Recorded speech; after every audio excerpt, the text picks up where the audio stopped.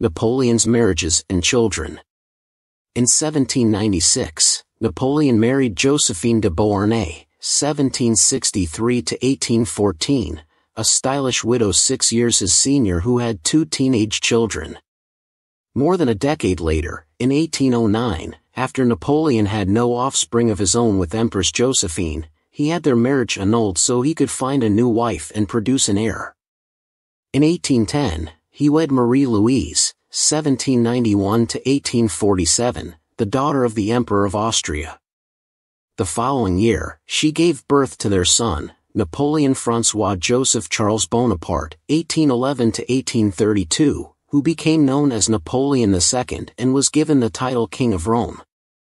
In addition to his son with Marie Louise, Napoleon had several illegitimate children. The reign of Napoleon I. From 1803 to 1815, France was engaged in the Napoleonic Wars, a series of major conflicts with various coalitions of European nations. In 1803, partly as a means to raise funds for future wars, Napoleon sold France's Louisiana Territory in North America to the newly independent United States for $15 million, a transaction that later became known as the Louisiana Purchase. In October 1805, the British wiped out Napoleon's fleet at the Battle of Trafalgar. However, in December of that same year, Napoleon achieved what is considered to be one of his greatest victories at the Battle of Austerlitz, in which his army defeated the Austrians and Russians. The victory resulted in the dissolution of the Holy Roman Empire and the creation of the Confederation of the Rhine. Beginning in 1806, Napoleon sought to wage large-scale economic warfare against Britain with the establishment of the so-called continental system of European port blockades against British trade. In 1807, following Napoleon's defeat of the Russians at Friedland in Prussia, Alexander I, 1777 to 1825, was forced to sign a peace settlement, the Treaty of Tilsit. In 1809, the French defeated the Austrians at the Battle of Wagram, resulting in further gains for Napoleon. During these years, Napoleon re-established a French aristocracy, eliminated in the French Revolution, and began handing out titles of nobility to his loyal friends and family as his empire continued to expand across much of Western and Central Continental Europe. Napoleon's downfall and first abdication. In 1810, Russia withdrew from the continental system. In retaliation, Napoleon led a massive army into Russia in the summer of 1812. Rather than engaging the French in a full-scale battle, the Russians adopted a strategy of retreating whenever Napoleon's forces attempted to attack. As a result, Napoleon's troops trekked deeper into Russia despite being ill-prepared for an extended campaign. In September, both sides suffered heavy casualties in the indecisive Battle of Borodino. Napoleon's forces marched on to Moscow, only to discover almost the entire population evacuated.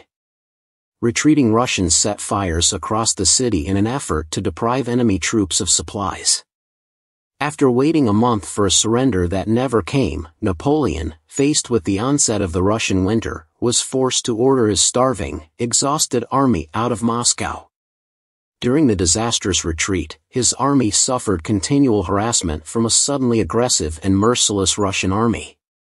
Of Napoleon's 600,000 troops who began the campaign, only an estimated 100,000 made it out of Russia. At the same time as the catastrophic Russian invasion, French forces were engaged in the Peninsular War, 1808-1814, which resulted in the Spanish and Portuguese, with assistance from the British, driving the French from the Iberian Peninsula.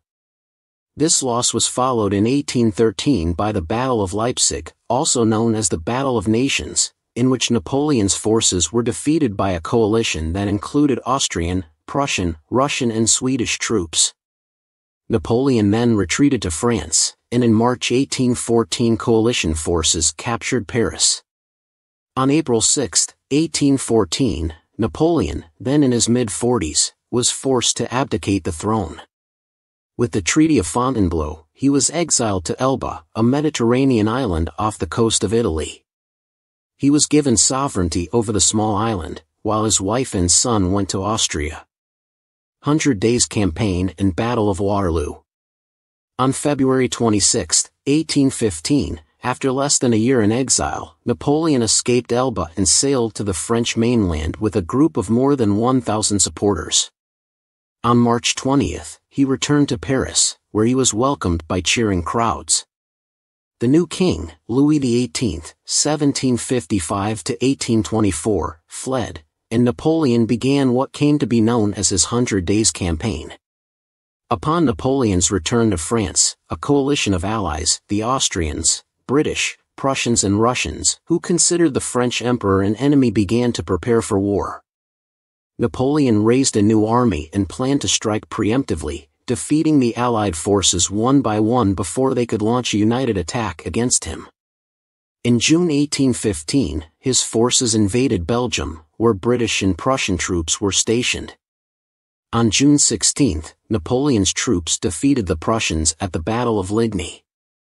However, Two days later, on June 18, at the Battle of Waterloo near Brussels, the French were crushed by the British, with assistance from the Prussians. On June 22, 1815, Napoleon was once again forced to abdicate. Napoleon's final years. In October 1815, Napoleon was exiled to the remote, British-held island of St. Helena, in the South Atlantic Ocean. He died there on May 5, 1821, at age 51, most likely from stomach cancer. During his time in power, Napoleon often posed for paintings with his hand in his vest, leading to some speculation after his death that he had been plagued by stomach pain for years. Napoleon was buried on the island despite his request to be laid to rest on the banks of the Seine, among the French people I have loved so much. In 1840, his remains were returned to France and entombed in a crypt at Les Invalides in Paris, where other French military leaders are interred.